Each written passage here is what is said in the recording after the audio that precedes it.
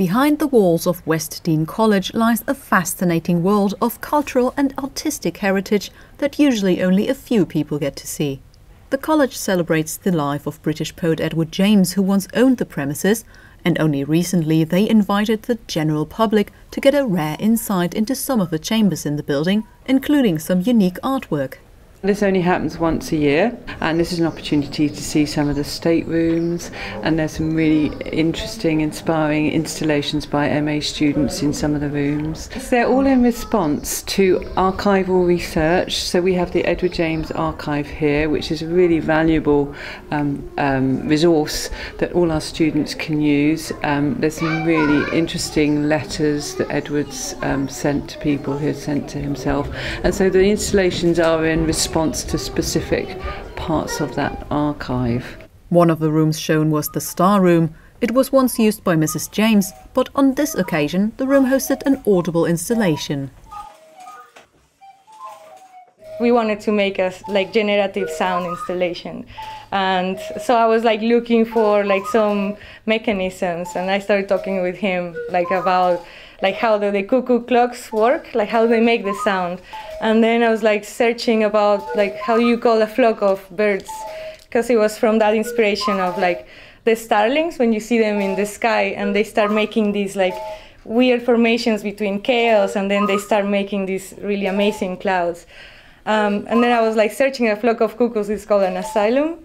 so it was like really interesting, like that name already like triggered like some ideas. So um, it's kind of similar to like that murmuration of starlings, but with sound. So it's like from chaos because you never know, like they are all go on and off at their own times, and so you can always have like this like cacophony, but at some point in the chaos you will have like some harmonies, or you start hearing like these kind of rhythms. My role was essentially taking Laura's uh, the technology of using Arduinos and motors mm. and then integrating that with a purely mechanic, mechanical system which was set off the bellows mm. and then um, like I say, was integrating the, the new technology with the old craft. So there are sensors in front of in front of the art pieces and so as someone passes by they will turn on and off and then that creates in itself this um, chaos but at the same time our ears hear tunes, even though it's really not there, it's mm. purely random.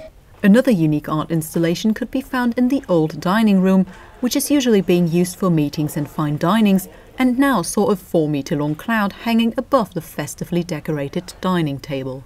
It's called The Cloud, and we were inspired by René Magritte um, and his relationship with Edward James being his patron. There's a history of surrealism with Edward James and the house here.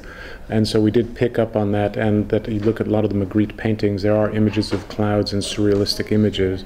So we said, how could we make that manifest? And that was what we yeah. came up with. It's made of folded paper, of 220 gram uh, paper, and just held together with glue. So it holds its shape just by the folds and the geometry.